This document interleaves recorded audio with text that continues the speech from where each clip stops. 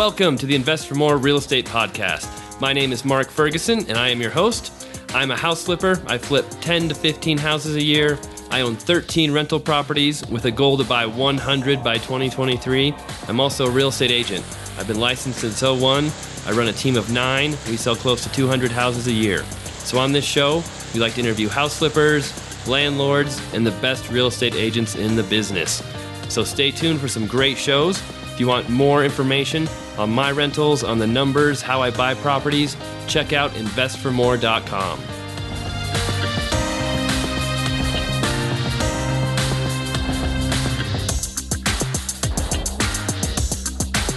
everyone, it's Mark Ferguson with InvestFourMore, and welcome to another episode on the InvestFourMore Real Estate Podcast. Today, I've got a great guest, Tyler Sheff, who's an agent, investor, loves buy and hold, also invests in notes, and he is also a podcaster. So he's got a, a great podcast, The Cash Flow Guys.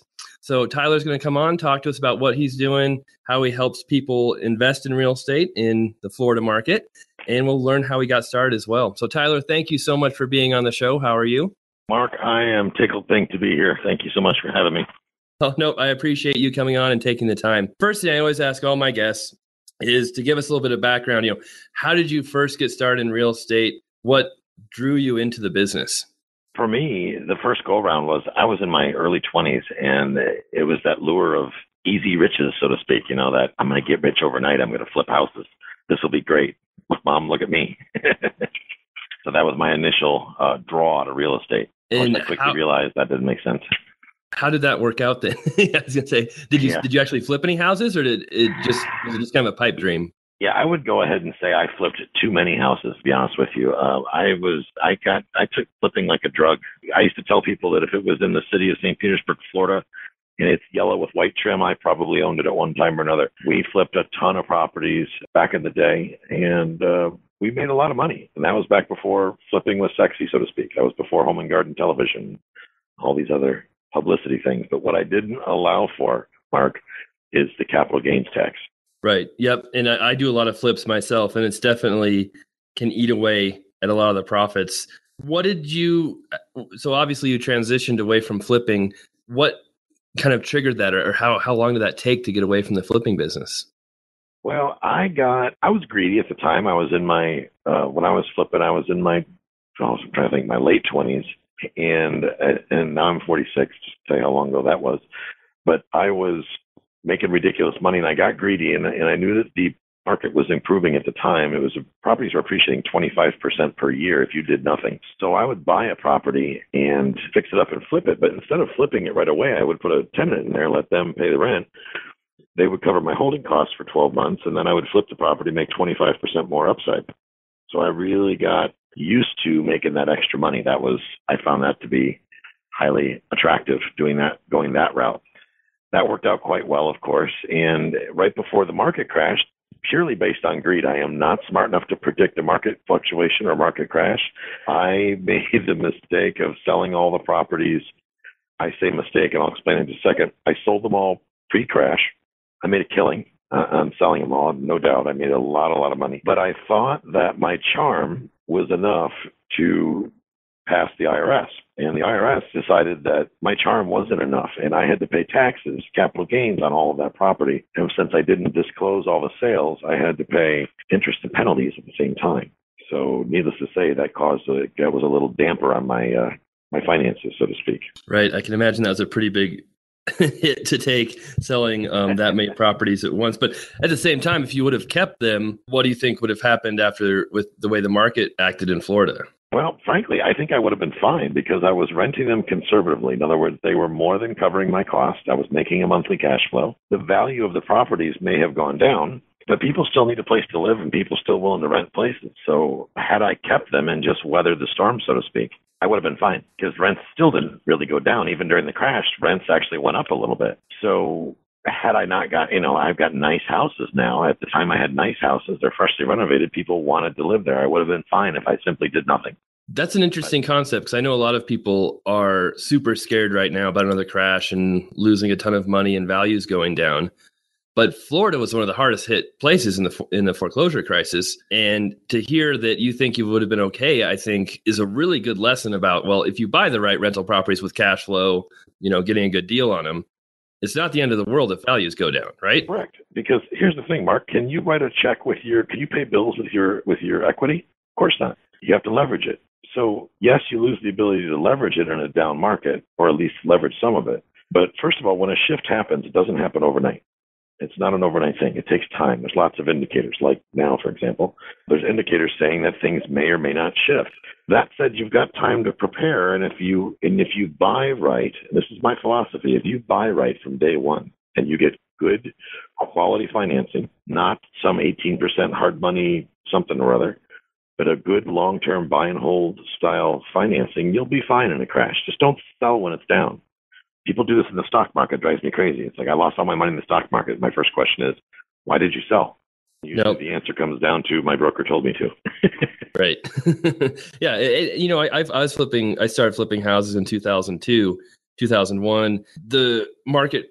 I'm in Colorado. The market definitely had a downturn here, but there's so many people who are just fine because, like you said, they had cash flow. They, you know, some of them had loans, some did not. But if you had a loan, you know, and it wasn't 120%, you know, 100% leverage with, like you said, high interest rates, those people made it through just fine if they were smart about it. So I think it's um, kind of a misconception that every investor went bankrupt during the crash and that it was, you know, this horrible scene for everybody. But no, it's good to hear from someone who was in that area that's one of the hardest hit and that it may not have been quite as bad as people make it out to be. No, no. It was, you know, the, the media likes to sensationalize things, and they get the people hyped up and get people get excited, and they make they make decisions that are not based on logic. They're based on emotion. And if you're an investor and you're making your decisions based on emotion, you really need to rethink why, your place in the investor in the investor uh, space, so to speak. Yes, for sure. So moving on, during the crash, did you keep flipping? Did you change strategy? What happened at that point? I had sold off all my property. I was out of property. I stopped flipping mainly because I didn't need to. I had plenty of money sitting in the bank, and I did a lot of traveling. I would hang down, go down to the Florida Keys, and hang out. And I did a ton of traveling. had had a lot of fun. You know, I was at that age where that made a lot of sense to me. I wasn't necessarily saving money, so I was I was spending money. Hindsight, twenty twenty. I started a business uh, at the time doing some consulting work in the trucking industry, and I did that for a while. And then I went to go work for the federal government because basically my wife said I needed to go get a real job. Now, oh, with that, that's the funny. Here's the best part, Mark. That was all great. I got a job, but I also got the payroll tax to go with it. Right. So, what did you do th- for the federal government? I worked as what they call a chief bosun's mate on a government ship it was a research ship for the National Oceanic Atmospheric Administration, and and we traveled around the world on these ships, basically doing oceanographic research. So I was your typical extremely overpaid government employee, making just under 200 grand a year at the time with overtime and benefits and all that, which created, which was great. I mean, don't get me wrong, I love to travel and that, that's that's outstanding. But the taxes I was paying as a W-2 employee were killing me, and that's what led me back into real estate the second time around. I call it my second act, my second time around. And what? How did that work out? What, how'd that get you into the business again? well, for me, I was Google searching how to legally reduce my taxes because I tried it the other way and that didn't work out so good for me. Uh, after I got a six-figure tax lien against me that I had to pay off, which was very difficult, I was successfully paid that off. I decided that I wanted to do things the right way. So every Google search I came up came back with all led to the same path. Everybody, all the experts were saying if you really want to eliminate or reduce your tax bill, you've got to invest in real estate. So that's what I did. But this time everybody kept, you know, the Robert Kiyosaki's of the world were educating me and saying, listen, guy, here's the deal. Don't sell it this time. Just hang on to it. Buy it right. Hold on to it for the long term. And that in itself will greatly reduce your tax liability. And it absolutely did. What kind of properties did you start buying? Were they the same kind of houses you were flipping, or was it more, you know, multifamily? What what properties did you hold? Well, for me, I was, you know, I was, I came up as a single family guy, so initially that was my knee jerk reaction is to go with a single family option. But as I kept learning more and more about it, I learned that I could scale a lot faster if I focused on multifamily. So I hunkered down and at the time I was working, I guess I'm still working for the government back then. I was, was making so much money. One of my immediate tax strategies was to take some of my overtime pay as compensatory time. In other words, paid time off. So I had six months of paid time off saved up. So my wife and I decided that if I could come home for six months and collect a paycheck, and we had a good feeling that I could duplicate my income not being on the ship, not working for the government, that I would go ahead and pull the trigger and quit the government job and come back home and go into real estate full time. That led to, for me, wholesaling. I got my real estate license renewed. I, I had let it expire. I, I renewed my real estate license. I was doing a lot of wholesaling, some listing and selling of, of other people's properties. But then I started buying multifamily. And how I did that, the short answer is I was able, I learned how to raise private capital. In other words, how to leverage other people's resources to make up for those that I didn't have. Now, With your, um, oh, I'm sorry, go ahead. Oh, I was just going to say, uh, kind of taking a tangent here, real quick. With your real estate license, there's a lot of people who say it's kind of a, a, detriment to actually have it if you're an investor. I have my license too, and I think it's an amazing benefit to have it as an investor. Oh. But what is your thoughts on having your license as an investor? I think I don't think you. Let me say this: I don't believe it's necessary to have it, but I believe it's a huge benefit. Number one, referrals alone. I made almost seventy thousand dollars in referral fees in one year. Having a podcast, people from around the country call me and say, "Hey, Tyler, do you know a realtor in Seattle?" Uh, I don't, but I'll make some calls and find out. And you know, Seattle properties sell for hundreds of thousands of dollars, of which I get a referral fee. So there's that benefit. I, the MLS access doesn't really matter to me so much, but I believe I don't have anything to hide. I'm a, I'm a very open open book when I do business. So for me, I don't have any disclosure issues. I, I I tell people in a, in a joking yet serious way, hey guys, the state of Florida tells me that I have to disclose to you that I'm a realtor. Some people may think that makes me smarter than you, but we both know that's not the case. So anyway, moving on, and that's that's the end of it. But I think it's a huge benefit. Yeah, no, I, I feel the same way, and I think I I don't understand the disclosure issues for people because, like you said, if you're if you're open, you're telling the truth.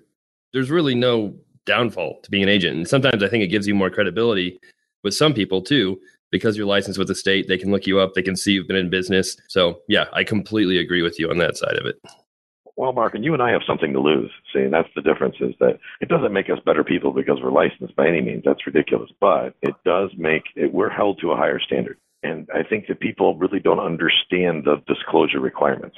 You have to disclose that you're a realtor. You really don't have to go on beyond that. Now, can you take advantage of people? No, but here's the news: you can't take advantage of people as a non-realtor either. That's called fraud. Right. yep, exactly. All right. So back to the your other investing. You you began buying multifamily, leveraging other people's money. What kind of deals were you buying? Were they huge apartment buildings, smaller ones? What what did you like to to purchase? The first one I did was a four unit, and I bought it with my VA mortgage benefits. So not only did I get it zero money down, I actually walked out of closing with a check for seventeen hundred because I got lender credits and I had a friend of mine who was licensed. He came and quote unquote represented me, kicked a commission back into the deal. So I actually got paid to buy that four unit building. And of course that comes with a residency requirement because it's a VA mortgage. So my wife and I moved in. We renovated renovated the all four units real nice and then converted two out of those four units to vacation rentals, which took our cash flow through the ceiling. We really started making money when we did that. From there, we went, we started, we jumped up to the bigger buildings, the 10 to 20 unit buildings is our sweet spot. That's where we like to be. The two story garden style brick concrete block, you know, anywhere from the 60s through the 80s. That's generally what our criteria is focused on. And you, you mentioned you don't use the MLS access that much. Are these mostly off market deals? How do you find these properties? Generally off market. I've done a very good job, I feel, of educating people in the marketplace that if, if you have a problem with your prop, property, multifamily, whatever, I'm I can usually come up with some sort of a solution that will help you out in most cases. And if I can't, there's a pretty good chance I know somebody that can. That is my marketing. That's that's a lot of my marketing. I spend I do a lot of teaching in the in the market. I speak at real estate meetings and other events to teach people. I use education as a way to bring me leads. In other words, I'll teach them for free. I educate them on how to get a good deal, which sometimes results in people in the audience going, "Uh oh, I didn't get a good deal when I bought this thing, and oh my goodness, I'm bleeding money. Maybe I should get rid of this thing." And then they will come to me and say, "Tyler, how do I get rid of this?" It's very simple. You sell it to me. and here's how we can do that and then I give them options that suit their needs. No, that's that's great. And yeah, with my deals now, a lot of them are, are off market, but we still do a lot of MLS, but it's more single family homes for the flips, which is a little different than the the big apartment buildings. What do you think what are the biggest benefits for you with going to the apartment buildings versus say single family rentals? Well, the ability to scale number one. I'm in my I'm over the hump. I'm I'm 46 years old now, so I for me to scale, I have to scale quicker than most people. I'm not 20 anymore, so I have to I had to build at a faster rate. And at the single family house perspective, one of the things I was doing was number one, I'm com- competing with every investor in my market because everybody else is single family. I'm competing with Joe homeowner who's willing to outspend me all day long for a property. So I found that the competition was fierce in single family. And, you know, I'll be honest with you, I'm an only child. I don't like to compete. So I would, uh, I prefer that in multifamily space, I very rarely have any competition, even on the MLS, believe it or not. Nice. I, I would not say the same thing here, but there's a there's so much competition here and money going into multifamily in Colorado that our cap rates are around five or six percent on multifamily properties. So it's it's tough. It's it's tough to make money on rentals in Colorado as well because our values have gone up so high. But no, that, that's and you not only are you an agent and you're you're investing yourself, but you also help others invest in multifamily as well, right? I do. And what I found is that you know I've got more to bring to the equation than just you know pulling something off the MLS and going, hey, look at the pretty curtains. Most investors that I run across are, are newer investors. In other words, very rarely do I meet many really experienced investors because it seems like when it comes into the multifamily space, you, usually a guy goes and gets a couple or a girl gets a couple buildings, they get confidence, and then they scale pretty darn quick with multifamily. Once they figure out, especially that getting money, finding money for them is much easier. They're just easier to buy than single family houses. So once that little secret gets out, these people scale pretty quickly. What I found is that when I work with investors, I get them to the closing table, but then what? It's they fail after the closing table. So what I've done is is started offering, and I've done this about a year ago, two years ago. Said I will help you buy the property, and instead of me taking a fee at the closing, I'm going to record a note against the property, or I will take an equity position in the deal and I will stay in the deal as an advisor in the deal. I've repositioned apartment buildings. I understand what it takes. I have the team and the resources to get it done. And if you're in, a, in an area different than mine, I can help you build that team, kind of be your person of experience in the deal and in exchange for an equity position in the deal. And that's worked out quite well. You mentioned finding money is easier for the, the multifamily properties. How is that so? What kind of financing um, are people able to get? Well, number one, you know, the value of multifamily is tied to the income it generates. And that is what makes it very different from single family homes. Single family homes, the value is tied to, well, what someone's willing to pay for it, of course, but it's also tied to comparable sales. In the multifamily space, especially with larger assets, nobody really cares what the guy down the street paid for his 10 unit building. Doesn't matter. What does matter is how much income does the property generate versus how much expenses does it incur? The ratio between those two things, like you said earlier, the cap rate is one metric, but I'm more of a cash on cash return kind of guy. The the net profit of, of building generates determines its its marketability in the marketplace. That happens to be something that the owner has complete control over. And when you have control over the profit, the value of your property, well, how can that go backwards?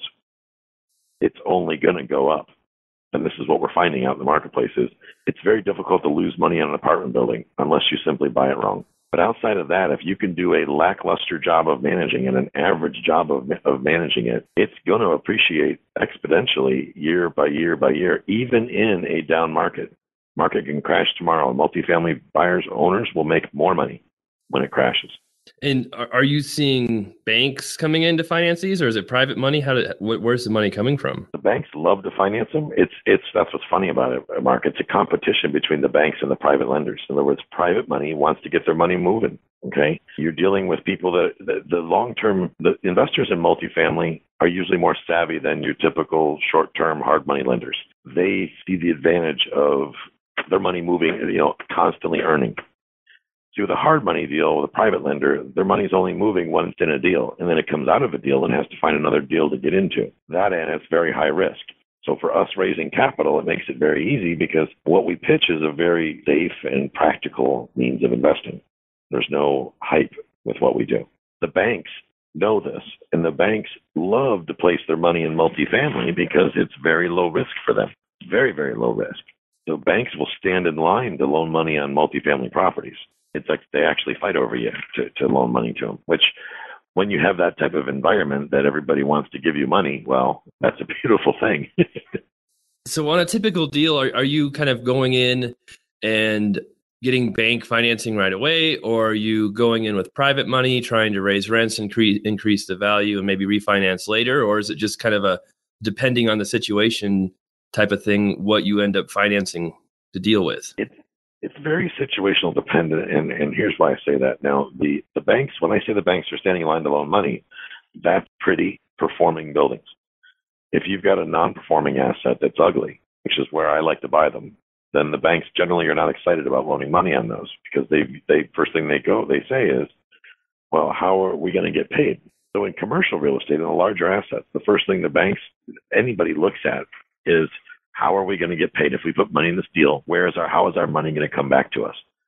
And when a building is vacant with tumbleweeds rolling across it, the banks don't like to speculate. They want more of a sure thing. So the banks are not excited about those type of properties. Where private money, on the other hand, they're less likely to turn their nose up at that because they can see the benefit of of the returns number one and they trust a lot in the operator. In other words if i've been doing this a while i've got several i own several buildings in two states. So for me i know what i'm doing. I am what they would consider low risk. But if you're a brand new investor then yeah it, it, you will be high risk. But mark here's the benefit that people that people miss is you can leverage the experience of your team. I did one of my first deals and I got the private money because I leveraged a really experienced property management company. And the investor said, "Hey, if you're willing to sign a contract with this investment co- or this this management company, I trust them. I know they know what they're doing. So basically, what he's saying is, there's very little for you to screw up, Tyler, because this management company is top notch. And that's exactly what I wound up doing on my first deal, my first larger deal. No, it's funny you say that because I've interviewed a, a, number of multifamily guys, apartment um, complex owners, and they all say kind of the same thing. If you're brand new, if you're trying to get into the business, there's a huge barrier to entry. You know, the banks, like you said, want people who have experience, and even some of the sellers or owners of these properties, you know, may not take people serious if they've never bought multifamily before, which can make it tough.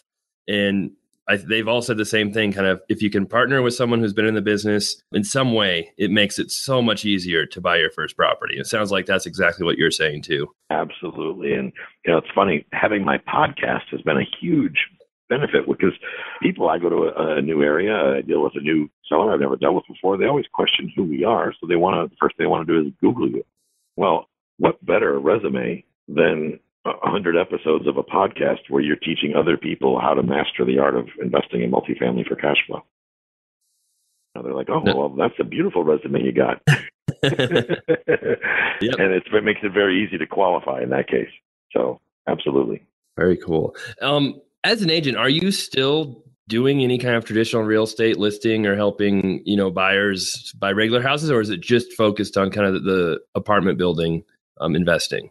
I do. My wife is a residential agent. She's as a, she obviously she's an investor because I am too, but she does a lot of the residential stuff. I like to do the high end. I'll sell the high end flip properties. I've learned quite a bit about marketing, and I feel I'm pretty talented when it comes to marketing. I like to get in front of a camera and, and act a fool and draw people to a property. So I do. I've got a couple listings right now, actually. Uh, in the three, four, five hundred thousand dollar range. I do still, still like dabbling that stuff. I don't necessarily like to work with quote unquote retail buyers unless they're a referral from a past client. I will work with them then, but I don't actively seek new buyers unless they are buy and hold investor buyers.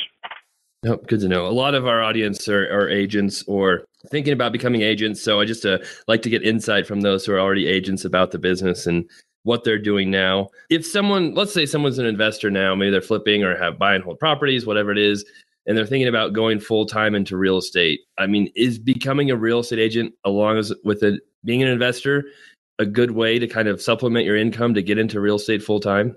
It's an absolutely a great way to supplement your income. And here's the biggest benefit that people often miss is that it keeps you immersed in the business. In other words, if you're out working at Starbucks or something while you're trying to be a real estate investor, you're focused on coffee eight hours a day. You're not focused on real estate. But if you're a real estate agent, you're focused on real estate 8, 10, 12 hours a day. You're immersed in the industry. And even if you're selling single family houses, condos, or mobile homes, whatever it may be, you're still in the industry, which means you're spending time with lenders and, and buyers and sellers. And I've met my capital investors, Mark, at bank owned open houses. I went and sat a bank owned open house, walked out with seven figures in investment capital. Yeah, no, I was, I was gonna, just going to mention the network power of being an agent is amazing too. I have other agents bring me deals. Like you said, the lenders you meet, title companies, even insurance agents. I mean, just the people in the business when they know you're an investor can be such a great resource for building your business. Absolutely. Absolutely. And you know, I think being investors it makes us better negotiators as agents. So for me, uh, you know, I automatically get higher commissions than most of the other agents in my market because to me those little numbers are they're not intimidating, which means I have no problem saying seven, eight, nine, ten percent, or I need thirty-five thousand to do to sell this property. That, that doesn't that doesn't sound like a lot of money to me because I'm used to playing with bigger deals. Because I'm not concerned about it, other people around me, i.e., the people paying the bill, are not concerned about it either. So for me, that just makes it easier to get higher higher listing commissions, which means I can pay the buyer's agents more money, which means my listings sell on average faster than everybody else in the market. No, that's a that's a really interesting strategy because as you know right now there's a huge push about lowering commissions and online companies, you know, charging less and agents getting paid too much. But you know, when the market wasn't quite as hot here, we were actually paying you know higher commissions to buyer agents as well to give our properties a, a, an edge and i think you know sometimes doing the opposite of what everyone else is doing can be a good thing. So that's good to hear that you've been doing that and it's been successful. Oh, absolutely. I mean, it, it doesn't matter what industry you're in. If you pay people well, they will perform. That's basic, basic common sense, and that's exactly what we do. I've got listings right now where I'll pay three and a half, four percent, and I'll give you a three thousand dollar bonus if you bring me an offer by the end of the month. And guess what? People bring me offers by the end of the month.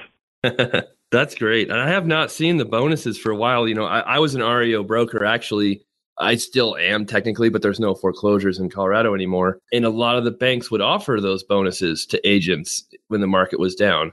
But that's really disappeared since things have gotten better. So I I'm sure that sets you so far apart when you can offer a bonus on a property for other agents. Oh, it absolutely does. It, it makes all the difference in the world, and especially with condos. The other listing agents hate me at condos, especially when there's several on the market. They're like, "Oh, geez, really? You got to pay four when I'm we're offering two and a half or two. Yep. Right. No, that's that's great. That's um great information there. Tyler, we've gone over quite a bit about, you know, your investing, the multifamily properties, you're flipping, being an agent. What about your podcast? You know, how did that get started? What are you mostly talking about on there? How, how's that going? You know, the podcast started because when I got back into real estate investing, Mark, I suddenly discovered that you can very easily spend $150,000 learning how to buy a $50,000 house. I thought, you know, that really doesn't make much sense to me. Who would spend, and the answer is a lot of people, who would spend 150,000 in, in quote unquote training to learn how to buy a $50,000 house? Heck, I'm a realtor. I can show you how to buy a house and you don't even have to pay me. So the podcast became a way for me to teach other people to do what I'm doing. And it, it was also a way for me to stay accountable. In other words, I can't go on the show and say one thing and do another. So I teach people how to do it right, which keeps me in check because I'm human and I'm lazy American like anybody else, and I can fall off the wagon real quick and start doing things the wrong way, the lazy way, the easy way, therefore fail. The podcast, that was the number one reason for me is to keep me accountable. Number two, to help people learn because I really, I'm a big believer, and it sounds cliche, but this is a fact. If you give to the marketplace, and I've proven this time and time again, if you give to the marketplace, marketplace will give to you. There's no doubt in my mind about that and it has. The market's been very, very good to me. I believe that's because I'm a big believer in karma. It's good karma. You know, I, I always take care of people. I look out for people. Sometimes they don't do the same for me, but over and above, I have an abundance mentality. And my show is about that. It's not about getting you to the next guru course. The other advantage for me with my show was the fact that I needed to position myself in the marketplace as an expert. You know, I could run an ad saying, "Hey, I'm an expert," and they could either choose to believe it or not. But I'm more of a don't tell me, show me. Does that make sense? Yes. No, that's that's kind of the same. A lot of the reasons I did my podcast as well, just because my audience asked for one. but uh, no, it really right. does hold you accountable. The, the blog, you know, I can write about all these things like you say, but if I'm not doing any of it, then people won't pay attention to you. But if you're actually doing it and writing about it and showing people, it just gives you a lot more credibility. And I'm I'm exactly the same way as far as, you know, the abundance mentality, you know, spending time actually planning and working on yourself, you know, not just always being about business and, and making money, but, you know, making sure that your own mental health is healthy as well. So yeah, I'm a huge believer in all of that as well. And I, I would say almost every successful person I interview is the same way too. It's, it's crazy how many people have that same attitude when they're successful and you start to see patterns like, oh, maybe there's a connection between the two. There definitely is. There definitely is. And I've seen the same thing, exact same thing. Tyler, I, I, that's all I had from my side of it. I, before we get out of here, um, if somebody wants to start investing, you said you work with a lot of beginners. Um, maybe they're in a market like Colorado or California where it's so hard to buy cash flowing properties. What are some tips for them? How can they get started in another area where there might be cash flowing properties? First thing is there is opportunity in every market. There is opportunity in, in LA, and the when uh, people say there's no deals, there are deals in, in Manhattan, in New York City. You have to uh, spend time looking where other people are not. In other words, the, there are opportunities in front of everybody's face right now as they listen to the show. They just have yet to learn how to discover them. So take some time, find some people that are doing it, that are educating, and people that are actually have that people that have actually done the work. Listen to, in very carefully to when they're selling you some sort of education, what do they have to show their track record? What proof do they have that they've actually done the work that they've done like yourself? You're an agent, you've done lots of deals. You're a guy that, that you would want to learn, that I would want to learn from because you've done, actually been out in the field, roll your sleeves up, you do the work. That's a huge difference between, between the marketing company that just pitches some course that they've changed the cover and it's the same tired information over and over again. So certainly educate and yourself and look in your own market. Try not to stray all over the country and get shiny object. Focus on your own market. You will discover opportunity. Awesome. No, great advice. If people want to get a hold of you, what's the best way they can reach out or listen to your podcast? How can they find you? The best way to get me is through cashflowguys.com. That's my main website, cashflowguys.com. On uh, there, I've got my videos. I've got tutorial videos. It's all free. I've got my podcast is on there. You can listen to it there. You can listen to iTunes, Stitcher, you name it. I'm easy to find, and the information, most of what I put out there is for free. I do have some paid courses and whatnot, but uh, I have a lot of information for free. So get out there and consume some of that. That's why I do it. And I've also got a YouTube channel. Awesome. And I, oh, I guess one last thing before we go. What market in Florida are you focused on? Where are you buying most of your properties? Most of mine are in the most of my my focus is in Memphis, Tennessee and Tampa Bay, Florida. So I'm in the Tampa area in Florida and of course Memphis, Tennessee. I've got properties in both both areas, both markets. Okay, nope, that always helps. So cool. Well, Tyler, thank you so much for being on the show. I appreciate you taking the time to do it. A lot of great information. Um, love to hear the agent side from who, people who are investors as well. And um, yeah, hopefully people can check out your podcast as well and see what you're doing over there. And um, yeah, we'll have to keep in touch. And thank you again. Thank you, sir. Have a great one.